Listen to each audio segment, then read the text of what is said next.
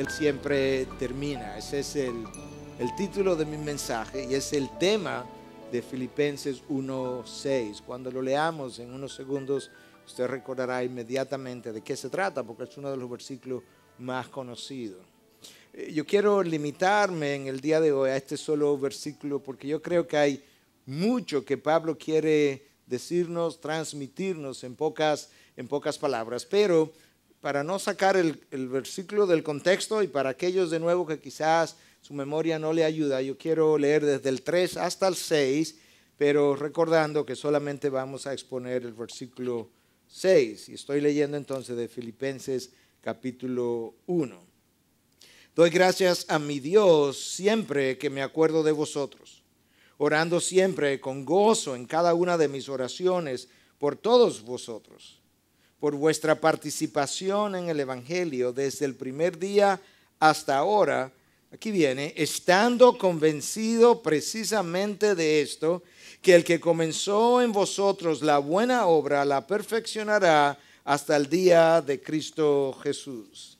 Pablo comienza hablándonos de que él da gracias a Dios en cada una de sus oraciones, cada vez que los filipenses vienen a su mente, o cada vez que Dios trae los filipenses a su mente, Él da gracias a ellos, pero no solamente nos revela el espíritu de gratitud y la gracia que Él da a Dios por estos amados hermanos, sino que también nos, nos revela cómo Él lo hace y nos dice que Él lo hace con gozo y nos dice a la vez las razones de su gozo. Él nos da básicamente dos razones. La primera tiene que ver con la participación o el compañerismo de los filipenses en la expansión del Evangelio que Pablo está predicando. Pablo tenía mucho que agradecer a esta iglesia. Esta iglesia participó con él en la expansión del Evangelio en oración.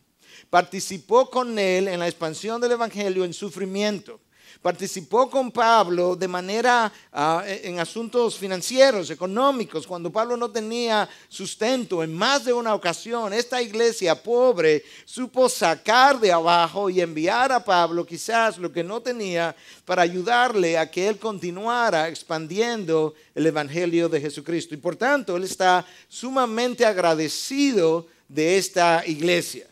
Y ese testimonio hablaba muy bien de ellos. Hablaba muy bien del amor de ellos por Dios, hablaba muy bien del amor de ellos por la causa de Cristo, hablaba muy bien del amor de ellos por el apóstol Pablo como misionero del Evangelio. Y Pablo está expresando esa alegría por los filipenses desde el inicio.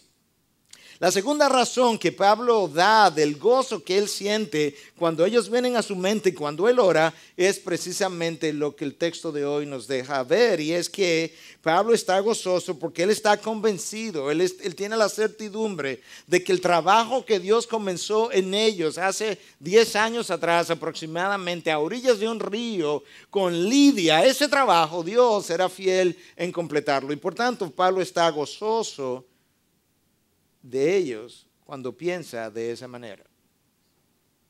Eso nos ayuda a nosotros a pensar cómo debiéramos cambiar nuestra manera de pensar en hermanos de otras congregaciones donde hemos estado o no hemos estado, pero debiéramos pensar que independientemente de quiénes sean, si son hermanos o cómo sean, pero si son hermanos, Dios está haciendo una obra en ellos y Él la ha de terminar. Y podemos entonces regocijarnos en eso y muchas veces hasta relajarnos en esa realidad. Y con eso entonces yo quisiera que contestáramos en el tiempo que nos quedan seis preguntas. Algunas respuestas serán más largas que otras, pero comencemos preguntándonos, ¿qué convenció a Pablo? Él dice que él está convencido. Había un momento en que quizá no lo estaba, pero ya él está convencido. En segundo lugar, preguntémonos, ¿quién comenzó la obra en los filipenses, que también la comenzó en nosotros. En segundo lugar, ¿cuál fue esa obra iniciada? En cuarto lugar, ¿cuál es esa buena obra? Quinto, ¿a qué se refiere Pablo cuando habla de que esa obra que fue comenzada será perfeccionada? Y finalmente, y número seis, ¿cuál es el día de Cristo Jesús al que Pablo alude? Comencemos con la primera pregunta. ¿Qué convenció a Pablo. Pablo estaba absolutamente convencido de que el trabajo que Dios comenzó, pensemos en la aplicación inmediata, en la iglesia de Filipo, a pesar de las presiones externas de que hablamos en los mensajes anteriores, a pesar de las evidencias internas de divisiones y desavenencias que también mencionamos, a pesar de todo eso, él está convencido de que nada ha de parar, de detener, de cambiar o alterar el trabajo que Dios comenzó en ellos y por tanto él se siente tranquilo. Pablo ha experimentado a Dios de una manera extraordinaria, la forma en cómo él ha experimentado la fidelidad de Dios a, lo largo de los años, en diferentes momentos, en diferentes ocasiones, en diferentes circunstancias y en todo tipo de lugares, la forma como él experimentó la fidelidad de Dios a lo largo de todos los años, lo tiene a él absolutamente convencido de que Dios terminará su trabajo. Y ese convencimiento es importante porque muchas veces lo que el creyente, de, e, el Hijo de Dios, muchas veces lo que experimenta durante su vivencia de su fe, no es confianza, es temor, es inseguridad, es incertidumbre. Y no hay manera que yo pueda sentirme seguro ni gozoso en medio del temor.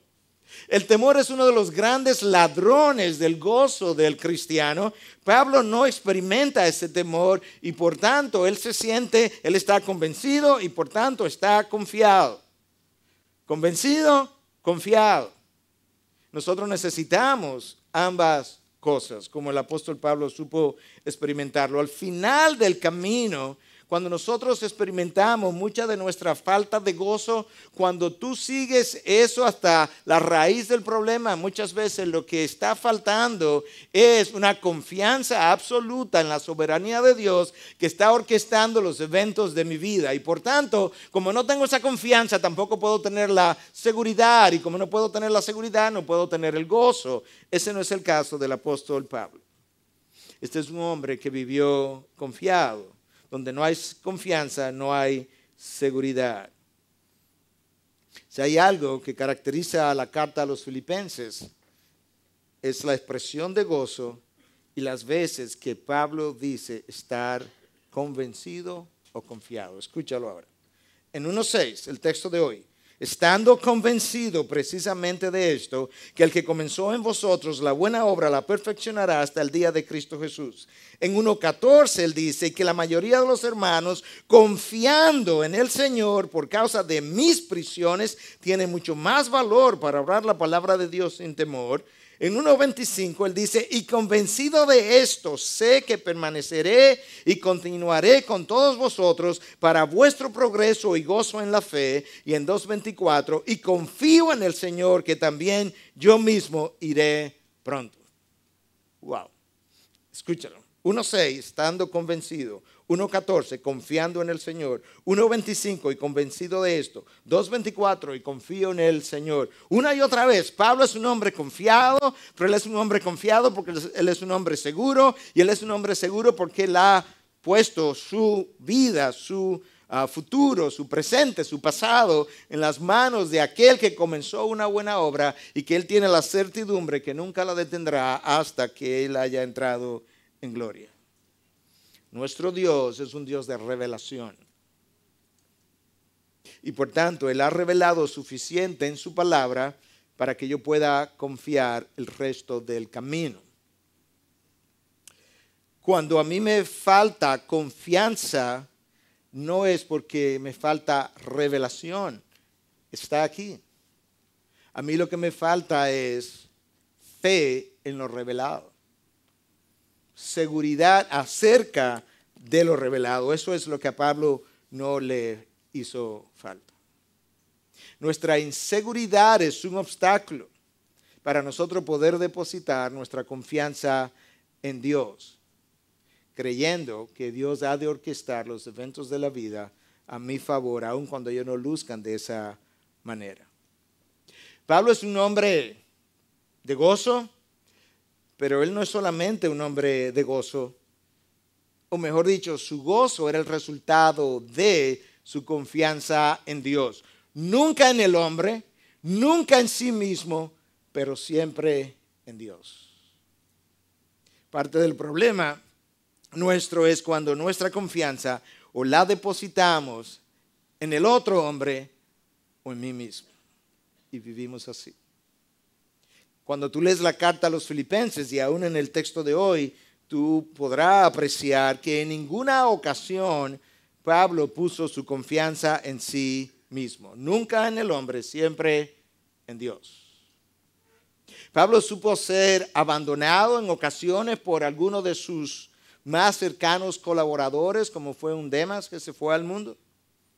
En ocasiones Pablo tuvo, fue rechazado por sus compatriotas, sus propios hermanos judíos lo rechazaron, lo persiguieron, lo encarcelaron, lo acusaron falsamente y él confiado. Otras veces Pablo fue decepcionado por un Marcos que lo abandona en Panfilia y en quien él no tiene confianza o seguridad para un segundo viaje misionero.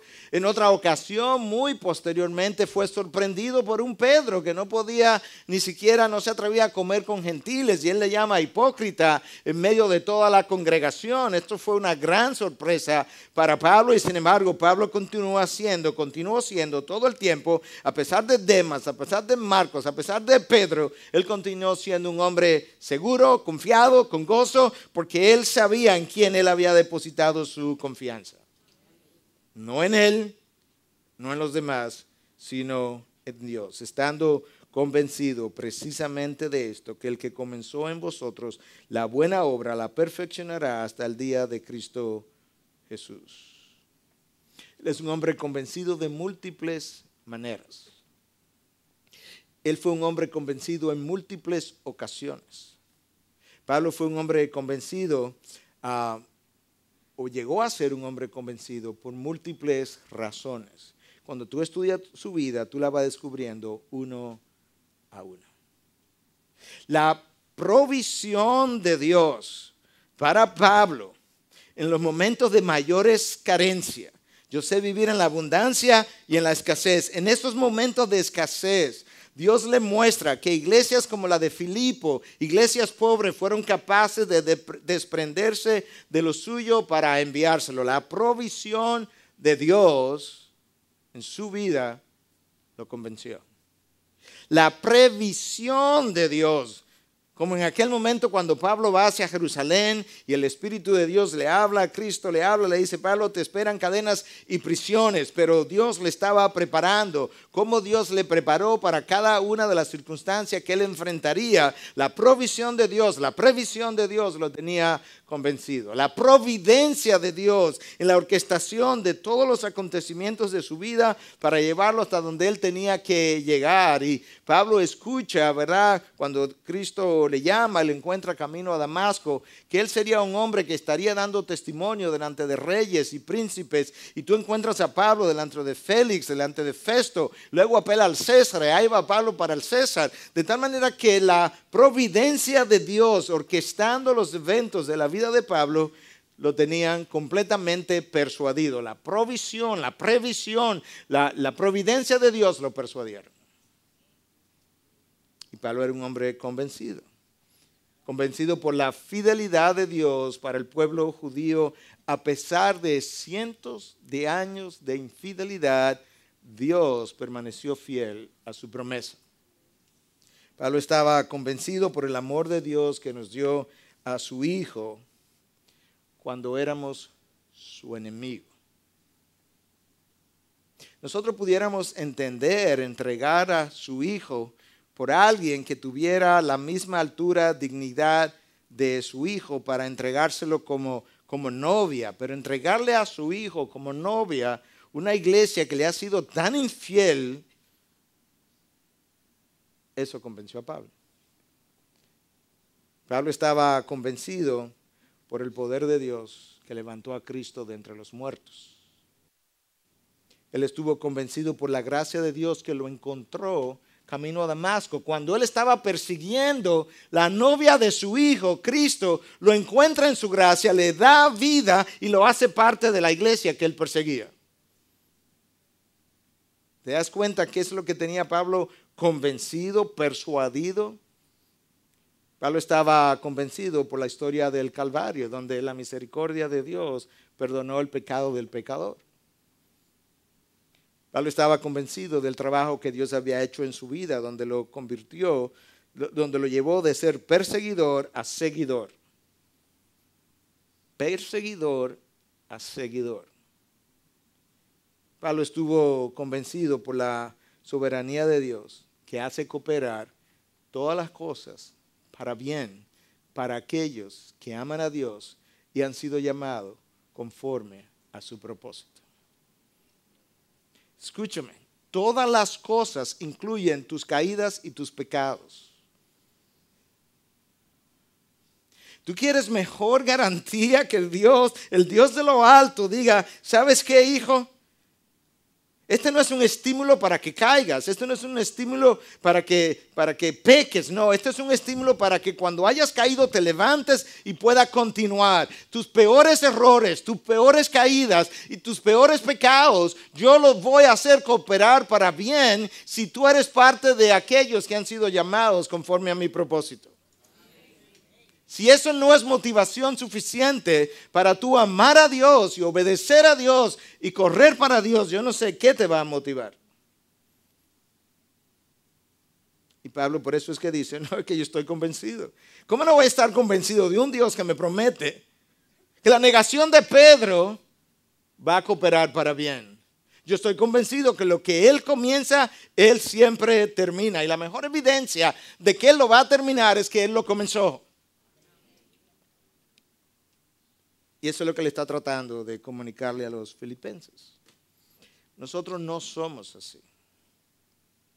Nosotros no podemos dar garantía de que lo que comenzamos, terminamos. De hecho, si la historia se escribiera de muchos de nosotros, habría más evidencia de que lo que comenzamos no terminamos que de lo opuesto. Porque nosotros somos dados a las desilusiones, a las decepciones nos cansamos. Mire, ¿y por qué tú no seguiste? Ay, me quitó el deseo. No tengo ganas. Bueno, yo quería, pero se me acabaron los recursos.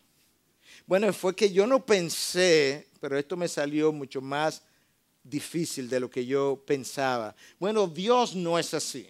Dios nunca, a nunca le han faltado recursos. Nunca se ha cansado. Nunca se ha desilusionado nunca se ha decepcionado, nunca a Dios le ha faltado formas de cómo hacer las cosas y nunca Dios ha sido sorprendido para que él pudiera decir, lo dejé a mitad porque yo no sabía que Miguel iba a hacer eso en tal año, en tal día. No, yo orquesté todo el pasado de Miguel sabiendo que tal año, tal día él haría eso y yo a partir de ahí orquestaría todo su futuro y lo haré cooperar para el fin para el cual yo le creé en el primer lugar. ¿Tú entiendes de qué clase de Dios es que estamos hablando? Dios no es como nosotros. Cansado, desilusionado, decepcionado, falta de recursos. No, no, no, no. Eso nunca ha sido el caso con Dios. Dios nunca se ha cansado, nunca le ha faltado ah, motivación, nunca le ha faltado... Ah, nunca le ha faltado lo que es fortaleza para continuar algo que lo cansó en el camino. Jamás. Pablo está convencido de toda la teología que Dios mismo le ha enseñado.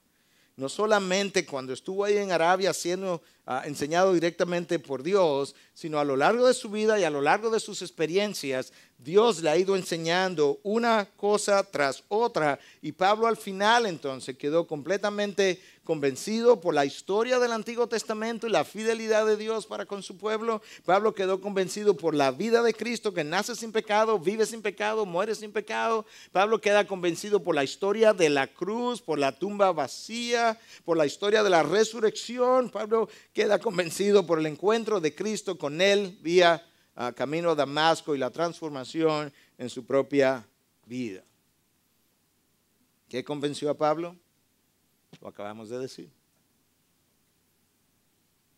Próxima pregunta y segunda, ¿quién comenzó la obra? Obviamente Dios. Él tiene lo que se requiere para comenzarla y terminarla. De él es que Pablo está hablando cuando le dice a los filipenses que doy gracias a Dios por cada uno de vosotros cada vez que tengo memoria de vosotros. Doy gracias a mi Dios siempre que me acuerdo de vosotros. Quizás Pablo está pensando cuando dice aquel que comenzó la buena obra en el contexto inmediato, quizás Pablo está pensando en Lidia. Como Pablo llega a Filipo y no encuentra sinagogas, no hay sinagogas. Entonces, de alguna manera Dios lo lleva a orillas del río y allí se encuentra con una mujer vendedora de púrpura, una mujer de recursos. Y como de una forma sobrenatural, el texto del libro de los Hechos, capítulo 16, nos dice que Dios abrió el corazón de Lidia para que pudiera entender el mensaje que Pablo predicaba, sobrenaturalmente. Quizás Pablo está recordando esos inicios de la iglesia cuando él cae en la cárcel. Pablo tenía poco tiempo en Filipo y ya estaba en cárcel. Cuando estuvo en Judea, estuvo en la cárcel. Cuando estuvo en Roma, estuvo en la cárcel. Yo creo que cada vez que Pablo iba para algún lugar, él no preguntaba, ¿cómo son los hoteles ahí? Él preguntaba, ¿cómo son las cárceles? Porque él sabía que ahí era donde él iba a terminar siendo hospedado. Y él llega a Filipo y él está en la cárcel otra vez y cómo este temblor de tierra ocurre, cómo se sacuden los, la, zapata de, la, prisión, las puertas se abren, cómo el, el, carcelero pensaba que los prisioneros habían escapado, lo cual iba a hacer que él perdiera su vida porque cualquier prisionero que escapara bajo tu custodia, eh, el carcelero iba a perder la vida y cuando ya le está a punto de asesinarse para clavarse, enterrarse la espada, Pablo lo detiene, le dice, no te hagas daño, estamos todos aquí, le predica el Evangelio y como de manera sobrenatural este hombre llega a creer y ahora tú tienes a una persona rica y una persona pobre que son los que inician la iglesia de Filipo.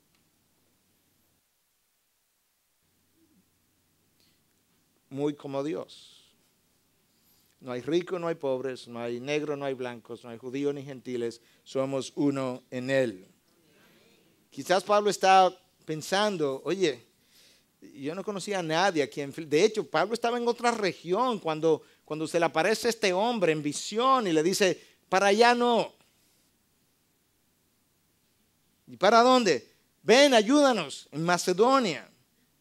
Y Pablo, dirigido por esa visión, coge para Macedonia y se encuentra con Lidia. Todo esto dirigido sobrenaturalmente. Quizás Pablo tiene todo esto en mente diciendo, wow, si Dios me sacó de esa región, me impidió entrar a otra región para donde yo iba, me envió para Macedonia, me hace encontrar con Lidia, de ahí en la cárcel, en la cárcel entonces me encuentro con que el carcelero creyó, Lidia, el carcelero, las primeras evidencias de fe en Filipo si esto comenzó así, a mí no me cabe la menor duda de que ha de terminar bien.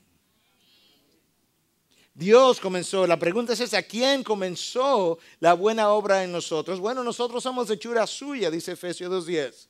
Hechos en Cristo Jesús, creados para hacer buenas obras que Dios preparó de antemano para que anduviésemos en ella, de tal forma que Dios piensa estas obras buenas, las prepara y luego que las prepara en su mente, la pone como aquí en un lado, por así decirlo. Entonces nos concibe, nos crea a la imagen de Cristo Jesús. Somos hechura suya, creado por Cristo Jesús para hacer buenas obras. De manera que Dios ahora en su providencia va a hacer que estas buenas obras y estos redimidos se junten porque ellos tienen que andar en estas buenas obras.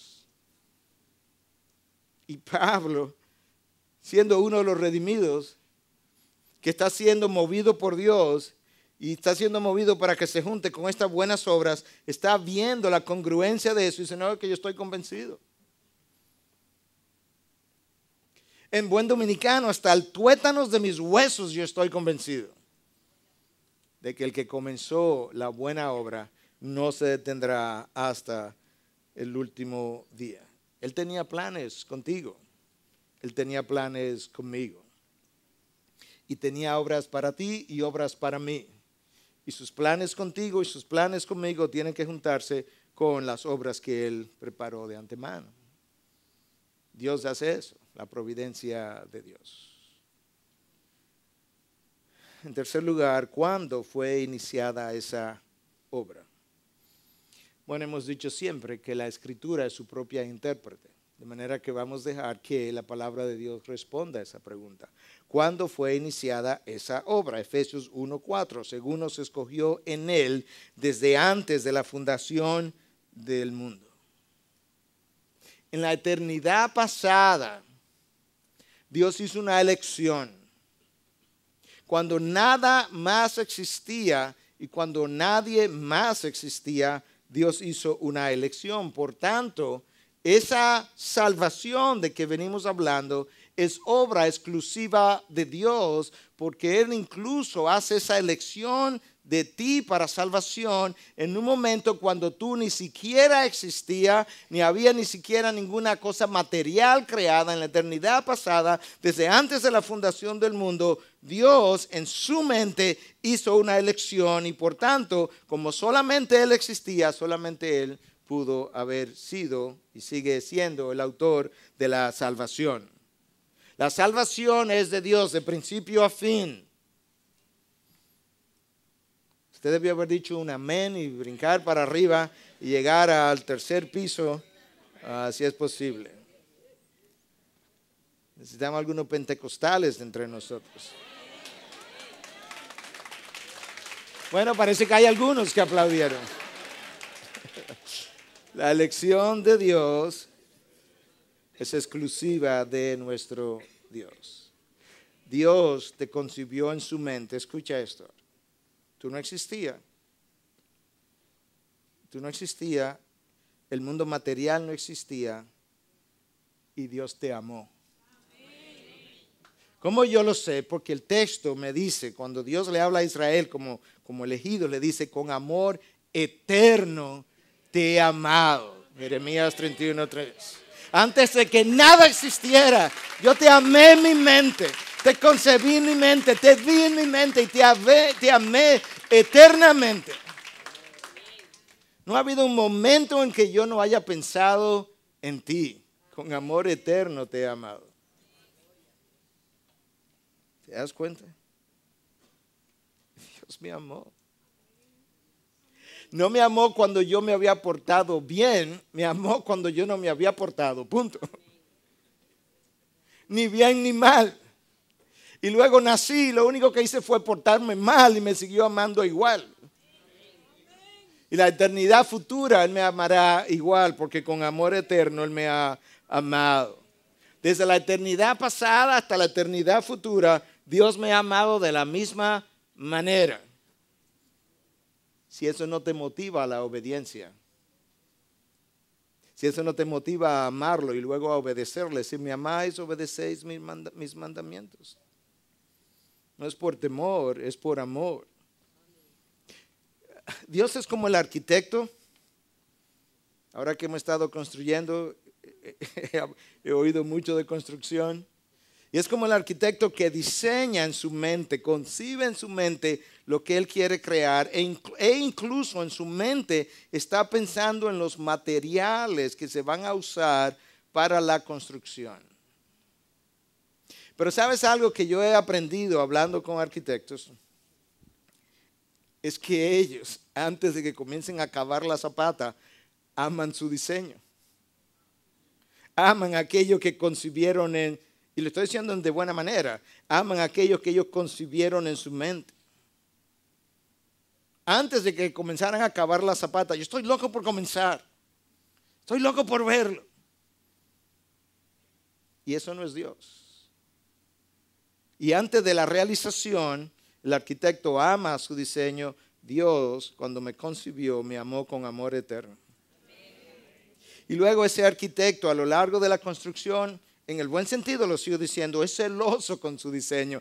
Él ama lo que él concibió y he aprendido que parte de la razón tiene que ver con que el diseño es como una parte de él, representa parte de lo que él es. De esa misma manera, cuando Dios me concibe en la eternidad pasada y Dios me concibe como eventualmente yo llegaría a ser su hijo, que yo llegaría a ser como el unigénito y llegaría a ser coheredero, yo comienzo a pensar cómo Dios amaba esa concepción en su mente y como antes de que pudiera ser realidad, ya la estaba amando y cuando comenzó a ser realidad, se volvió celoso con lo que él había construido en su mente porque representaba parte de lo que él era, parte de lo que es su esencia. Y ese es tú y yo.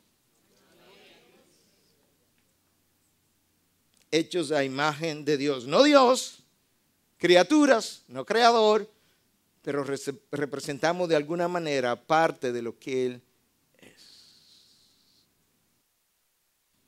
Y Dios me amó en la eternidad pasada, hasta el punto de hacerme coheredero con el unigénito.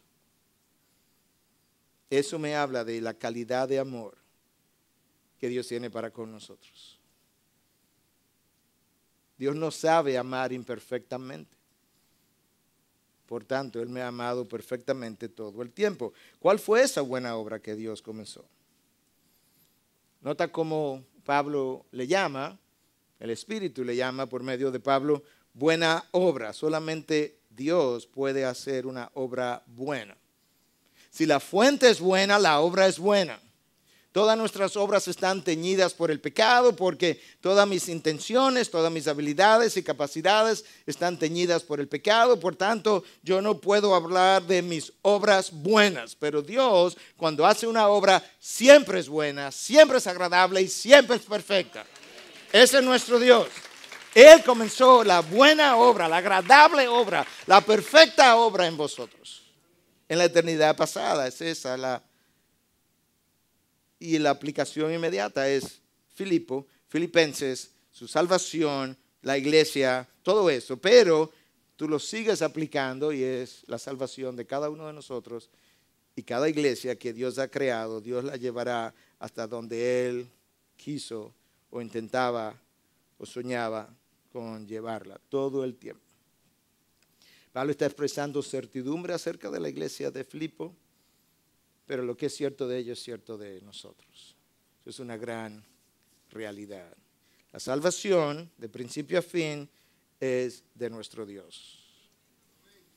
En una ocasión le preguntaron a un pastor de campo que explicara cuál era el rol, su rol en su salvación y el rol de Dios en esa salvación. él dice, bueno, primero yo hice mi parte y luego él hizo su parte. Entonces le preguntaron, bueno, pues ¿cuál es tu parte? ¿Cuál fue tu parte? ¿Y cuál fue la parte de Dios? Y dice, bueno, primero yo salí corriendo a toda velocidad, con toda intensidad, alejándome de Dios, y entonces Él me cayó atrás y me salvó. Esa es su parte, esa fue tu parte, y esa fue su parte. Ninguno de nosotros quería saber de Dios.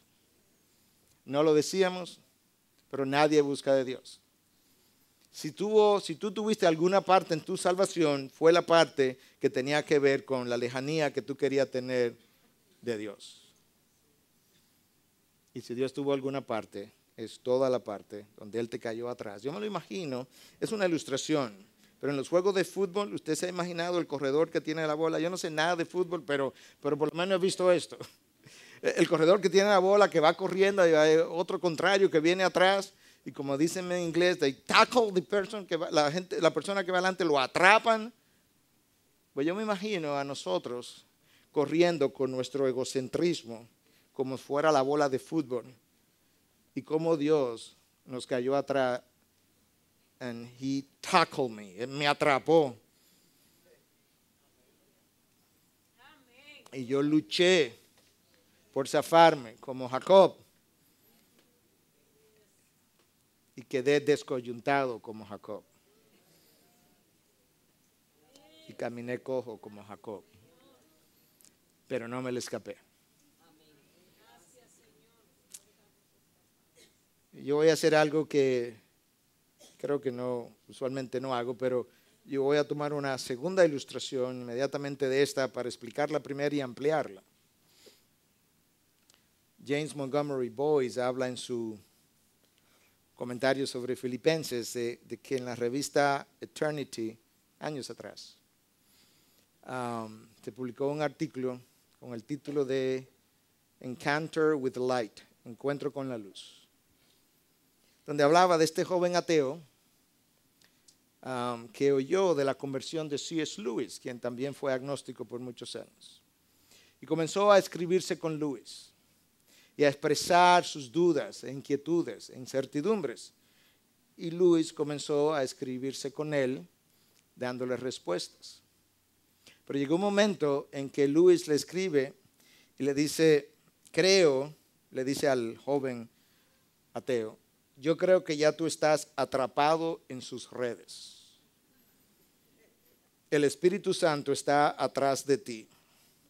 Dudo que puedas zafarte. Dice la historia que poco tiempo después el estudiante que había sido perseguido por Dios entregó su vida al Señor. Y él encontró lo mismo que C.S. Lewis había encontrado, que la salvación es completamente del Señor. Algunos de nosotros fuimos ya atrapados en sus redes y quizás estamos aquí y todavía no hemos encontrado, hemos tenido el encuentro de salvación, pero si tú estás en sus redes, nada te permitirá zafarte. Tú puedes luchar, tú puedes patalear, tú puedes quejarte, tú puedes gritar, pero tú vas a entrar. Porque Él te amó en la eternidad pasada, te eligió, te persiguió, con amor eterno te está persiguiendo. Y llegará un momento que no podrás resistirte a su amor. Y tendrás que entregar tu vida y humillarte y admitirlo y luego dar gracias. Número 5. ¿A qué se refiere Pablo cuando habla de que la obra será perfeccionada? Cuando Pablo habla de que el que, el que comenzó la buena obra la ha de perfeccionar, ¿de qué, ¿de qué es que Pablo está hablando? Bueno, recuerda, piensa un poco en Filipo, piensa un poco en Lidia, tenía el corazón cerrado. no solamente tenía el corazón cerrado, lo tenía endurecido. Los ojos estaban cerrados, el entendimiento entenebrecido, la voluntad esclavizada, ah, era enemiga de Dios. Y Dios un día le dice a Pablo, no vas a evangelizar en esa área, te vas a Macedonia, te vas a encontrar con una mujer, su nombre es Lidia. Y cuando Pablo comienza a predicar, de manera sobrenatural, Dios abre el entendimiento de Lidia, el corazón de Lidia, le abre los ojos, la levanta de sus delitos y pecados donde ella estaba muerta y le da vida. Un, muerto no puede abrir los ojos, de hecho él no sabe ni siquiera que tiene ojos para abrirlos. Y Dios levanta a esta mujer de entre los muertos, espiritualmente hablando, le da vida espiritual, vida eterna y el trabajo en Lidia comenzó. Ahora ella está viva. Estaba muerta, pero ha pasado de la muerte a la vida. Ahora ella está limpia. Dios ah, en algún momento te encontró con un corazón duro, cerrado, endurecido, sin entendimiento. Y Él te abrió los ojos un día, sobrenaturalmente. Y tú entendiste lo que estaba oyendo o lo que habías oído. Y es como que tú pudieras decir, ¿verdad? Eureka, eureka, lo he encontrado. Ahora todo está claro, lo que antes yo no podía ver, ni querer, ni desear, ahora deseo con ansias. Nadie más puede traer a una persona de la muerte a la vida que no sea Dios. Nadie más puede romper las cadenas que te esclavizaban al pecado y a la vida anterior que no sea Dios ese trabajo que Él lo comenzó cuando tú no lo querías, cuando tú no lo deseabas, cuando tú no lo amabas, cuando tú eras su enemigo, si Él lo comenzó en ese momento, tú no crees que lo va a detener. Ahora que tú eres su hijo. Él va a comenzar ahora a limpiarte, Él va a comenzar a quitar de ti todo aquello que no luce como su hijo. Y esas son las cosas que nos duelen, son las experiencias dolorosas las caídas necesarias, donde a través de cada una de esas cosas Dios quitó un pedazo de mí que no lucía como Él. Y cada vez que Dios nos pellizcaba o cada vez que Dios nos daba ese golpecito formando la imagen, nos dolía y decíamos, no, no más, no quiero. No voy a hablar, no voy a decir, no voy a... Pero Dios estaba pacientemente formando la imagen en ti y en mí. Habiendo creído, Dios hace efectiva la justificación que Cristo logró hace dos mil años en la cruz. De manera que Él venía ya orquestando por cientos de años todo esto. Y ahora tú eres un hombre justificado delante de Dios. E, él es el que te está perfeccionando, pero el que te está perfeccionando es el mismo que te eligió. Es el mismo que te llamó, es el mismo que te justificó. Es el mismo que ha de glorificarte, es el mismo que te perdonó, es el mismo que propició su propia ira. ¿Tú puedes creer eso? Que Dios estaba airado y cuando Dios tenía que tener su ira propiciada, Él tuvo que propiciársela a sí mismo. En la persona de su Hijo, porque ¿quién va a propiciar la ira de Dios? ¿Quién tiene lo que se requiere para poder aplacar, calmar la ira de Dios contra el pecado que no sea Dios mismo, Cristo hecho hombre, la única persona que puede tener un sacrificio tan extraordinariamente perfecto que puede ser capaz de llenar la justicia de nuestro Dios. El mismo que te eligió es el mismo que propició su propia ira. En otras palabras, cuando Dios decidió salvarte, no había quien pudiera salvarte que no fuera Él mismo. Tú pecaste contra Él y ahora que Él quiere salvarte, él no tiene nadie quien pueda salvarte que no sea el león de la tribu de Judá. No hay otro en todo el universo capaz de abrir los sellos que no fuera el león de la tribu de Judá, Dios mismo hecho hombre, cordero y león. Wow.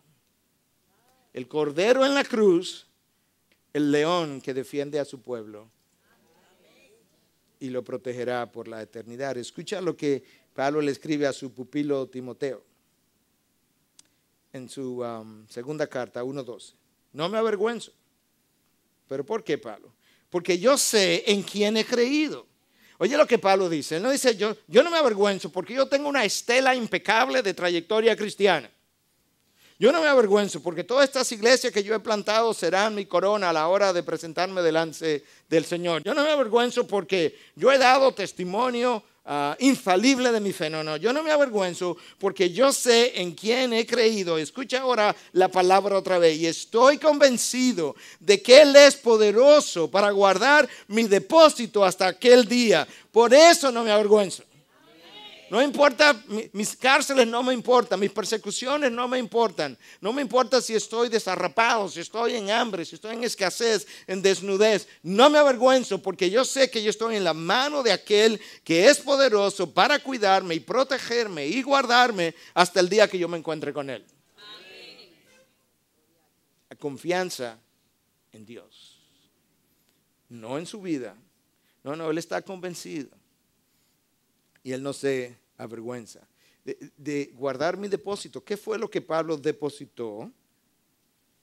Su vida, su fe. El día que él creyó, aquí está mi vida, Jesús, la dejo en tu banco como depósito. Y él dice, yo estoy convencido que Él la va a proteger. Si Dios puede sostener, escúcheme, si Dios puede sostener zillions de, planetas, de galaxias, con el poder de su palabra, ¿tú no crees que Él puede guardarte hasta el día en que te encuentres con el Padre? Si Dios sostiene la creación inanimada, ¿tú no crees que Él ha de sostenerte a ti, que eres su hijo? De una mejor manera y de una forma más cuidadosa. Pedro, el apóstol Pedro, aprendió exactamente la misma teología del apóstol Pablo. Escúchalo, primero de Pedro 1.5, que sois protegidos, vosotros sois protegidos, escucha cómo, por el poder de Dios por la fe o mediante la fe para la salvación. Soy protegidos por el poder de Dios para la salvación que está preparada para ser revelada en el último tiempo. Yo creo que Pedro lo dice todavía mejor. Vosotros estáis protegidos para salvación por el poder de Dios. Ahora escuchen. cuán grande es el poder de Dios, porque esa es mi protección. Una palabra, ¿cuán grande es el poder de Dios? Infinito. De manera que si algo ha de quitarme la salvación, tendría que vencer el poder infinito de Dios, que es el que me guarda. ¿Cuál es la posibilidad de que algo pueda vencer el poder infinito de Dios que me guarda? Cero. Esa es la razón por la que Pablo puede decir, pues yo también estoy convencido de que ni la muerte, ni la vida, ni los ángeles, ni principados, ni, los, ni lo presente, ni lo porvenir, ni los poderes, ni lo alto, ni lo profundo, ni ninguna otra cosa creada podrá separarme del amor de Dios en Cristo Jesús, porque estoy protegido por su poder infinito que me guarda hasta el día de mi redención. Yo estoy convencido que nada me separará del amor de Dios. Su poder infinito me guarda hasta el día de mi redención.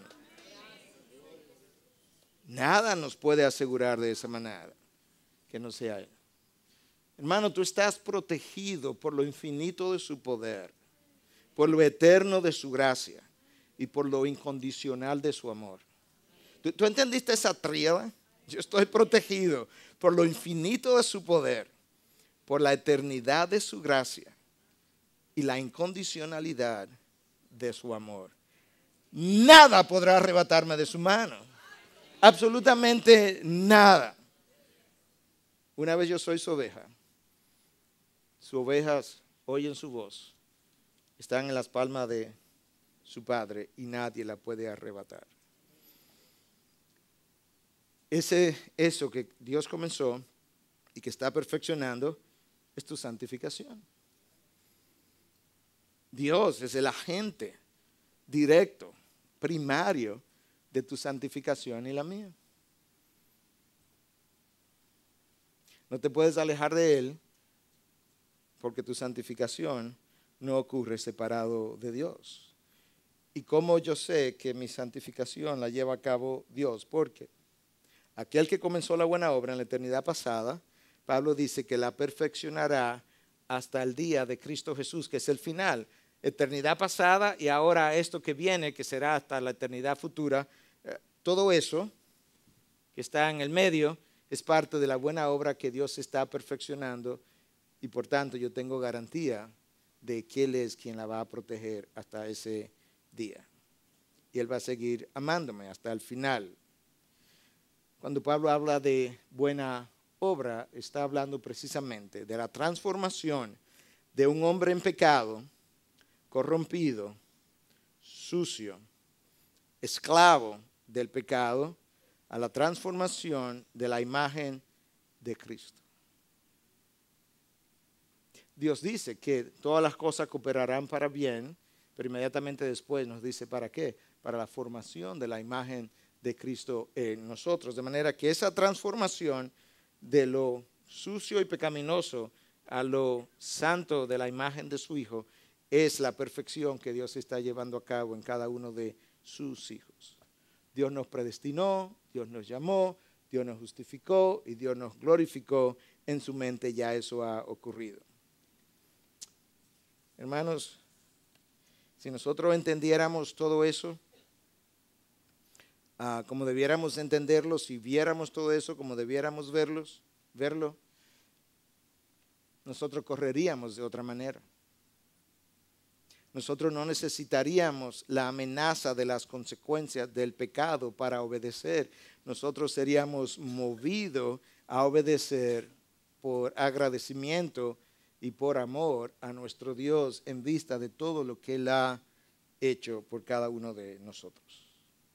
La palabra que Pablo usa cuando habla de perfeccionar es epiteleo, que implica llevar algo hasta completar su fin. Dios te creó ah, con un propósito y con una finalidad. Por tanto, Él va a epiteleo, Él va a llevar eso que Él creó en ti hasta que tú complete el fin para el cual Él te creó. Eso debiera movernos a nosotros en otra dirección si Dios me elige en la eternidad pasada y yo me pierdo en el camino, eso no habla bien de su poder. Eso no habla bien de su fidelidad. Eso no habla bien de su palabra cuando Él ya me ha revelado que nada me puede separar del amor de Dios y que nadie me puede arrebatar de sus manos. No hablaría bien de su palabra tampoco si en el camino yo me pierdo, si yo soy verdaderamente uno de sus hijos, porque si no lo soy, ya eso es otra cosa. Y sexto, en último lugar, ¿cuál es el día de Cristo Jesús? Bueno, yo no voy a entrar en todas las posiciones doctrinales, escatológicas de cuando Cristo viene. Dejémoslo simplemente. El día de Cristo Jesús es el día de su retorno por su iglesia. El día de Cristo Jesús es ese día final, cuando ya todo esto por lo que yo pasé, toda situación de dolor, de lágrimas, de sufrimiento, toda dificultad, toda caída, todo eso ha de cesar. Y donde yo ahora entraré a la presencia de Dios eternamente, con Cristo Jesús. Por ahora, por ahora, las cosas no lucen muchas veces ir a nuestro favor, porque como Juan nos dice en su primera carta 5.19, todo el mundo yace bajo el poder del maligno. De manera que las condiciones que yo vivo, las circunstancias que yo experimento son parte de el resultado de vivir en un mundo que yace bajo el poder del maligno y parte del resultado de yo todavía estar luchando con una naturaleza carnal, caída, pecadora, que tiene deseos contrarios a lo del Espíritu. Pero cada experiencia vivida de dolor, de sufrimiento, de caída, Dios sabrá usarla para mí bien a la hora de que Él ponga en ejecución su providencia en la dirección de lo que es la formación de la imagen de su Hijo en nosotros. Nuestro Dios sabe cómo redimir el tiempo que yo he perdido. Nuestro Dios sabe cómo redimir las caídas que yo he tenido. Esas dos cosas, una vez más, no son incentivos para pecar. Esas dos cosas son incentivos para yo pararme cuando me haya caído y volver a correr sabiendo que mi Dios no ha parado la obra, ni la ha detenido, ni la ha alterado, ni la ha cambiado, ni la ha modificado, ni ha renunciado a ello, a ella, la obra que él comenzó en la eternidad pasada. Con ese conocimiento, Judas nos dice, y aquel que es poderoso, escúchalo otra vez, para guardaros sin caída y para presentarnos sin manchas en presencia de su gloria con gran alegría, a Él sea la gloria el honor por siempre. Amén. Él es poderoso para presentarme sin mancha. ¿Cómo que sin mancha? Todo mi pecado fueron pagados. De manera que Cristo cuando me presenta ante el Padre, no me dice, Padre, aquí viene una oveja tuya, que yo morí por ella, pero mira lo sucio que está. No, Padre, mira, aquí hay una oveja por la que yo morí. ¿Tu ves lo limpio que está? Es mi limpieza y es mi santidad. Recíbela conforme a la limpieza y santidad que yo le he dado. Aquí está. Por eso luce sin mancha. Por eso luce sin arrugas. No es que no la tiene, es que están cubiertas por mí. Y Él es poderoso para presentarme sin arruga y sin mancha. Hermanos, no desmaye. Dios no ha parado la obra en ti. Tú tienes que correr con pasión, con denuedo, con urgencia, con esperanza. Corre con temor y temblor, con, con humildad reverente ante la obra que Dios está haciendo. El que comenzó la buena obra en ti en la eternidad pasada será fiel y la perfeccionará y la llevará a cabo hasta el día de Cristo Jesús. A Él sea la gloria por los siglos de los siglos. Y su pueblo dice, Amén, amén, amén.